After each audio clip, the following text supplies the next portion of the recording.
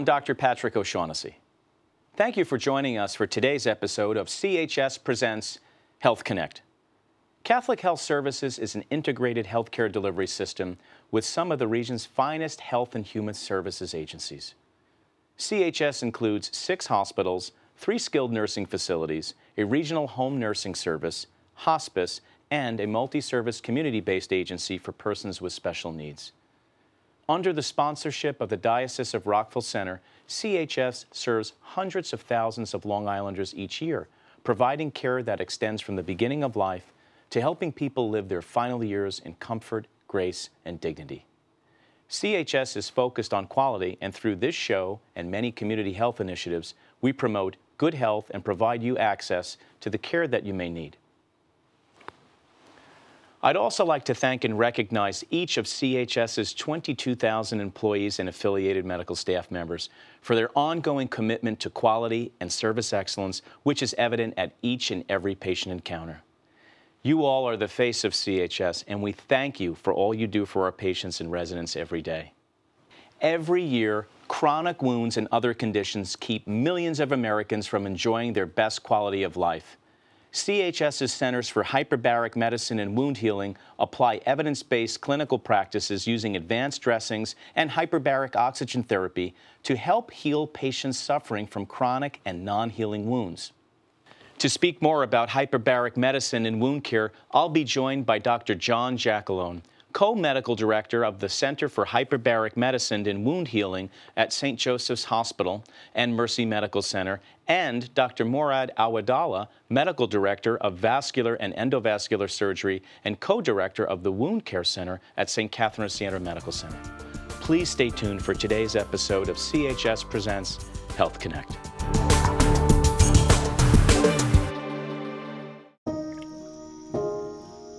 This is the story of a boy who didn't talk for a long time.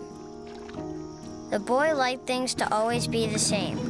Any changes would scare and upset him. The unknown was an unfriendly place. The boy was very sensitive to lights and sounds. So he built secret hiding places where they couldn't get in. The boy didn't like looking people in the eye. He wasn't trying to be mean, it just made him feel uncomfortable. Sometimes he would flap his arms again and again. One day I found out I have something called autism. My family got me help. Slowly, I found my voice and learned all the ways I could live with it better. Early intervention can make a lifetime of difference. Learn the signs at autismspeaks.org.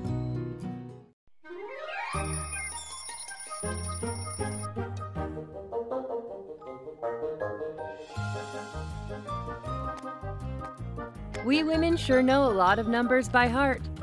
But do you know the most critical numbers for your heart health? That knowledge could save your life. Do you know your numbers? Talk to your healthcare provider today to learn your health numbers. Your heart depends on it. Here's something we bet you didn't know. Nearly half of all cancers can be prevented, mostly by making changes in your diet, controlling your weight, and of course, by not smoking. Visit prevent50.org and get a free 30 day planner filled with tips, recipes, and more. Welcome back to CHS Presents Health Connect. Approximately 5 million Americans suffer from chronic open sores that can become seriously infected, gangrenous, may require surgical procedures, amputation, or even cause death. Hyperbaric medicine can provide relief and recovery for chronic non-healing wounds. Joining us now is Dr. John Giacalone, co-medical director of the Center for Hyperbaric Medicine and Wound Healing at St. Joseph's Hospital and Mercy Medical Center.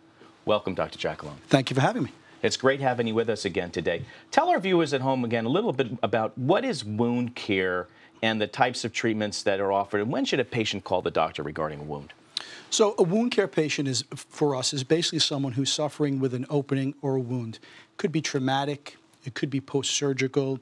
It, it could be related to their diabetes or their circulatory disorder. Anyone that has a wound that's not closing in a reasonable amount of time, and what do we mean by a reasonable reasonable amount of time? Mm-hmm. Well, if you've injured yourself in the past you know how you should heal. Mm-hmm. If you feel that this particular wound is not following that pattern, I don't want to tell somebody a number of weeks because a chronic wound for one patient may not be chronic for another. So if you're concerned at all about a family member or a wound that you have yourself, absolutely reach out to your doctor. You should never be made to feel like you're bothering anyone. He'll let you know, you know, this probably should be healed by now and maybe we need to send you, you know, in the appropriate direction. So I think it's any wound that doesn't look right or seem to be healing the way you've healed in the past. And, and this is so important because, as I mentioned in the introduction, if, if one of these wounds don't heal and it does get infected, it could rapidly spread to serious uh, limb-threatening infection or perhaps even life-threatening infection. What's some of the statistics? How common is, is this? Uh, you know, a, majority of patients that have diabetes for a long period of time at some point in their life are probably going to develop a wound. Um, with diabetes, we talk about how long you've had diabetes. I personally would rather a patient tell me that they've had diabetes for six months and their sugars have been on the high side than someone tell me they've had diabetes for 20 or 30 years and their diabetes has been somewhat well controlled. It's a cumulative effect, and our bodies break down with time. Statistically, it's something that most diabetics really have to be careful. Uh, careful about and look for and family members also sometimes patients don't want to burden their family members they might be a little older they don't want to burden, burden their children it's really important to ask mom and dad take your shoes off let me take a look Yeah. happens all the time where they come in and the child will say to me, you know, I didn't know mom had this wound. I Yeah. didn't know dad had this wound. So it's very important to be diligent, especially with the lower extremity where diabetes is, is concerned. You know, it's, it's interesting with my father. Uh, he had said to me uh, one Father's Day, I, I got him a gift certificate to go get a pedicure. And it's so important. He's a diabetic. Many times it's hard for him, given his body habit, is to get down, check his toes, check his feet. It wound up being one of the best gifts I could give him because ultimately, sometimes what can happen is you get a foot wound that could rapidly ex- uh, expand, grow, and cause significant problems for the foot Sure. uh, and whatnot, lead to systemic infection. Are there other diseases other than diabetes that can that can lead to problems with wounds healing and Sure, anything that affects your circulation, your ability to sense and feel pressure or injury, or your ability to fight infection, circulatory disorders, um, neuropathies that could result from some type of environmental exposure. where you have no feeling? That's correct. So you know you, you set up this this perfect scenario where they can't feel pressure or pain, they develop a wound. Because they're compromised, they don't fight the infection, and they may not have adequate blood flow. And if you think about blood flow, it brings oxygen there, Right. and it also delivers antibiotics to the Right. area. So if you have an injury that's infected, and doc puts you on an antibiotic. If that blood flow is not getting to the affected part of your body, as in the foot, furthest away from the pump, gets the, less, the least amount of blood pressure. It's got to travel the furthest through arteries that may not be as open as they were 20 years ago. So blood flow, and I know you're going to have vascular doc on next, very, very important part of what we do. I cannot function or run a wound care center without a good active vascular service. Right, and you actually just, you know, it set a perfect tee up uh, as you talked about oxygen delivery to tissues. So let's talk a little bit and share with our viewers at home about hyperbaric oxygen therapy. How does this help patients suffering with chronic wounds? So basically, hyperbaric oxygen therapy is one of the tools that we have. It- it- a small percentage of our patients actually wind up in hyperbarics. Most patients we're able to take care of with wound care alone. But in the patient that might be compromised from an oxygen standpoint, the way hyperbarics works is very simple. Right now, we're breathing air, and that air is being pushed into our lungs with atmospheric pressure. The weight of the air above us is pushing that oxygen into our bloodstream. When we increase the atmospheric pressure, as we do in a hyperbaric chamber, we're basically pressurizing that chamber with, let's say, two atmospheres of oxygen. So we're doubling the pressure gradient that's driving oxygen into the bloodstream, and we're increasing the amount of blood that's getting to the affected body part. Now, again, I started by saying hyperbarics is a tool and not a save-all because you may have a patient who needs to have that artery opened or bypassed or unblocked by a vascular. Now the hyperbarics will work. So it's not everybody that goes in. The patient has to be optimized and they have to be able to get the benefit and realize the benefit of the, of the treatment. But again, it's multimodal, as you mentioned. that There's multiple underlying um, processes that lead to, to this disease state. But certainly, hyperbarics is a key tool in this. Can you share a little bit with our viewers at home some of the successes you had with patients who have been treated with hyperbarics? We've had patients that have failed traditional wound care therapies for six, eight, 10, 12 months. I mean, some of the things that walk into the center, you know, they're very impressive. And if that patient is optimized and you put that patient into the chamber, you will see results. If you're putting the patient in the chamber and you're not getting the results that you want, you're probably missing something. So when it works, it works very well and it's very powerful. If it's not working, you need to step back and reevaluate because you're probably missing something.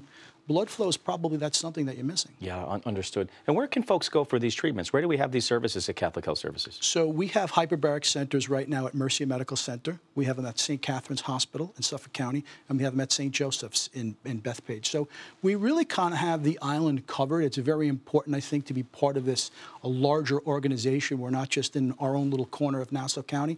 If a patient tells me, you know, I have a family member, but they live out in Suffolk, yeah. we can see at St. Catherine's. South Shore, we've got Mercy. We've got St. Joseph's is really centrally located, kind of close to that Nassau-Suffolk border. So we really have most of the bases covered geographically. And again, perfect segue into one of the things I asked you to do, which is help develop and lead our service line model for wound care. So building off of those centers and hub spoke and being able to service both counties in which we serve.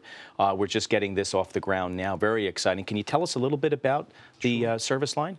We were interested in becoming a service line, and the reason for that was we really wanted to plug all the centers together.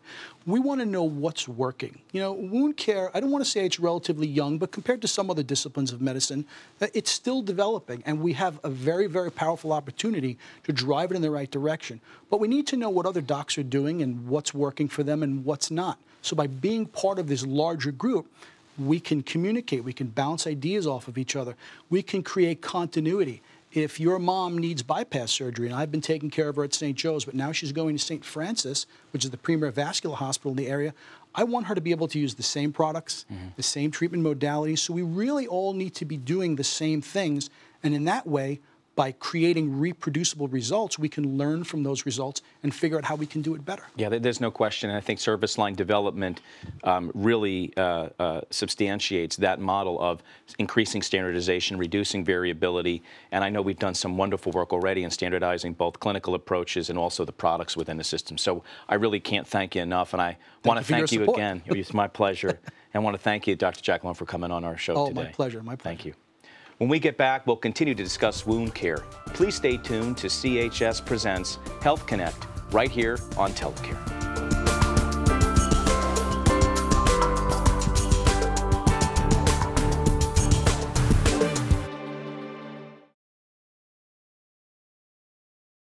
I never wanted to be associated with heart disease.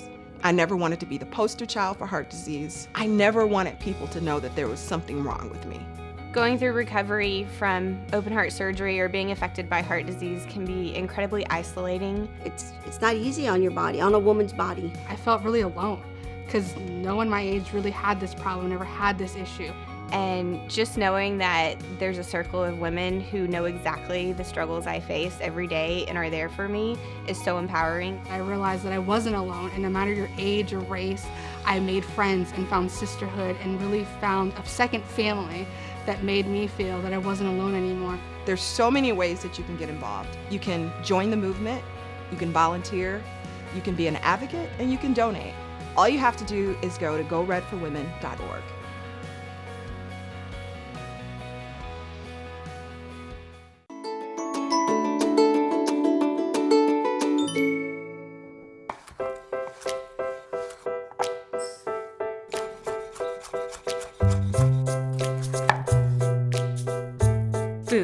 nourishes, brings us together, and adds flavor to life. That's why it's important to wash hands, surfaces, and fresh produce. Keep raw meat, poultry, and seafood separate from ready to eat foods like fruits and vegetables. And cook to proper temperatures using a food thermometer. Enjoy! And refrigerate leftovers within two hours. For more tips on safely preparing foods, visit homefoodsafety.org.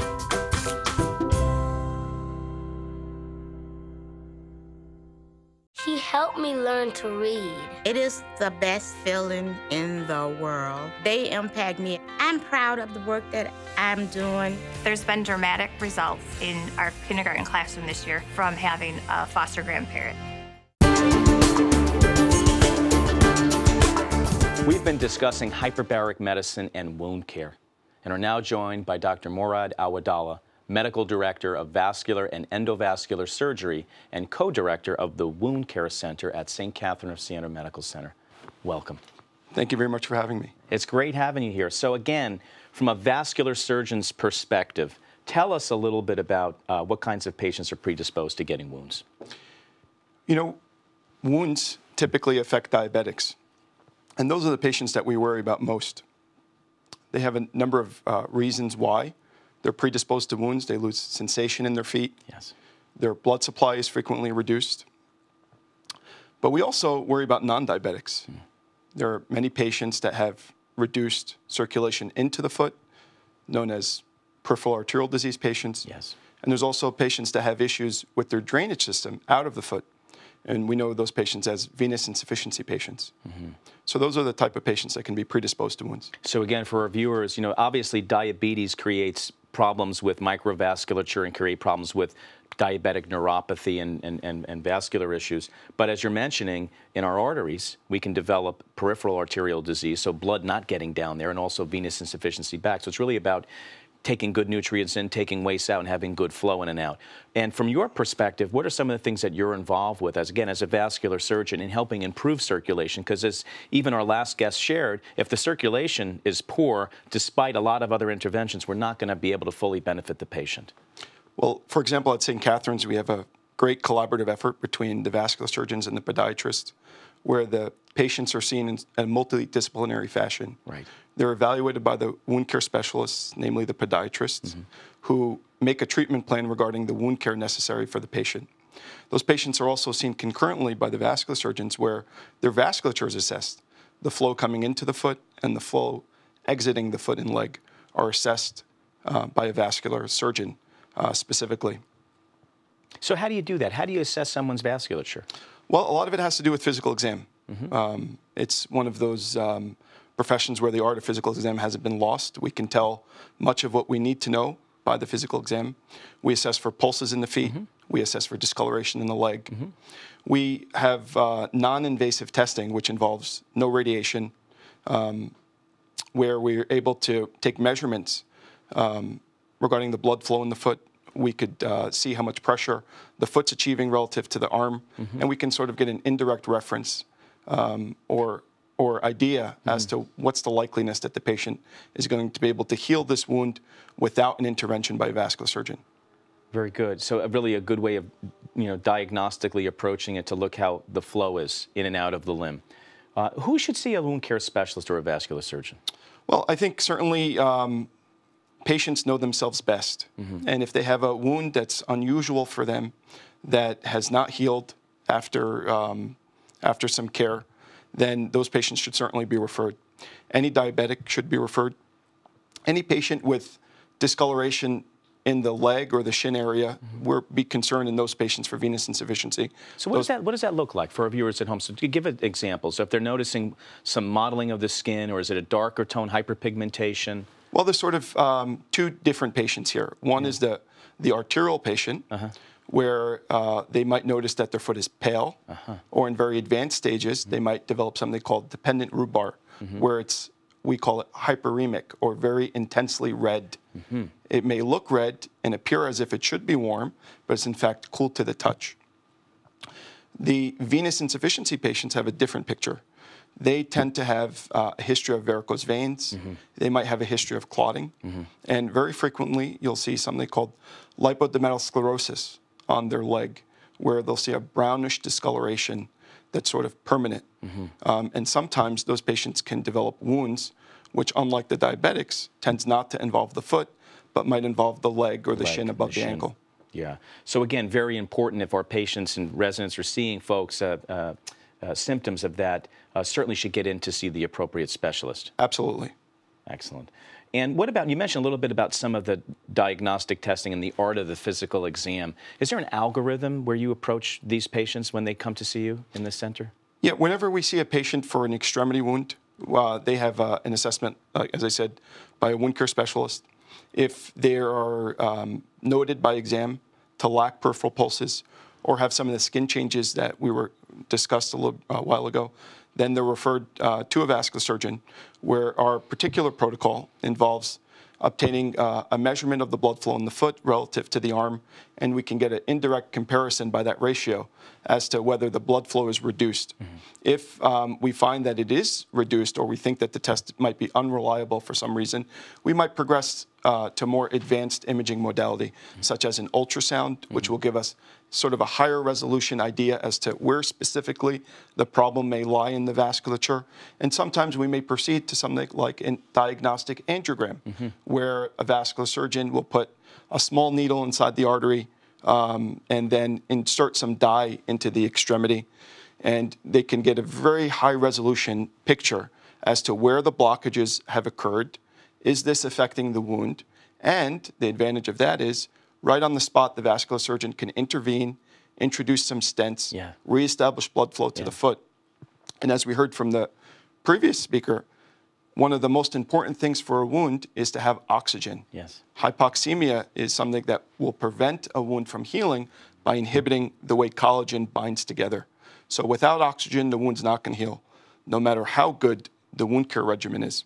And so a vascular surgeon's role in this is part and parcel in mm-hmm. giving the capacity to not only deliver oxygen, but frequently these patients have associated infections. And in the absence of blood flow, it's very difficult to deliver antibiotics to the appropriate wound bed. Yeah, I think it's very important for folks at home to understand um, that uh, this why it, seeing a professional is so important and getting the appropriate examination and diagnostic testing done. And, and just as you know, we've talked about on this show in other areas, uh, whether it be the heart or or the brain, you're able to go in many times with minimally invasive technique, be able to open up a blocked artery, stent it, create better blood flow, which then creates the uh, environment for healing and good blood flow. That's exactly right. It's much more likely than not that we'll be able to alleviate your uh, lack of blood flow using techniques that involve no incisions at all.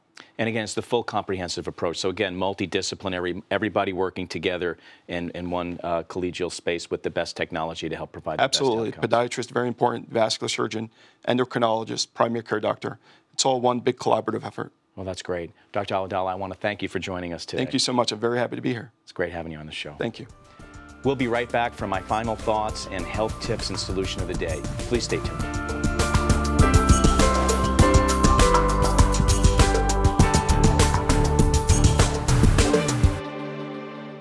And now my final thoughts on our discussion today. Managing chronic wounds uh, can be sometimes very difficult. It's very important that you frequently examine yourself at home. Make sure if, if you can't get to a certain area of your body, especially down low to your feet, around your toes, have a loved one check you. Uh, if you have pre-existing medical conditions like diabetes, even coronary disease, all of these things can affect the way that the vasculature uh, is supports the tissue, as well as can set you up for at risk for developing one of these chronic wounds. And even if you do have one of these conditions, uh, please, as we talked about today, where you go for treatment is so important. You have to make sure you're seen by the appropriately trained, skilled healthcare professional team also with the best, best technology available for you to provide the best outcome. I always say it's the right care, right place, by the right people at the right time. So please do come visit us at any one of our CHS facilities. And now for my health tip and solution of the day. Today, we will discuss important information about type 2 diabetes. Again, very relevant to our conversation today about wound care. As always, I like to start with one great source of truth, and that is www.diabetes.org.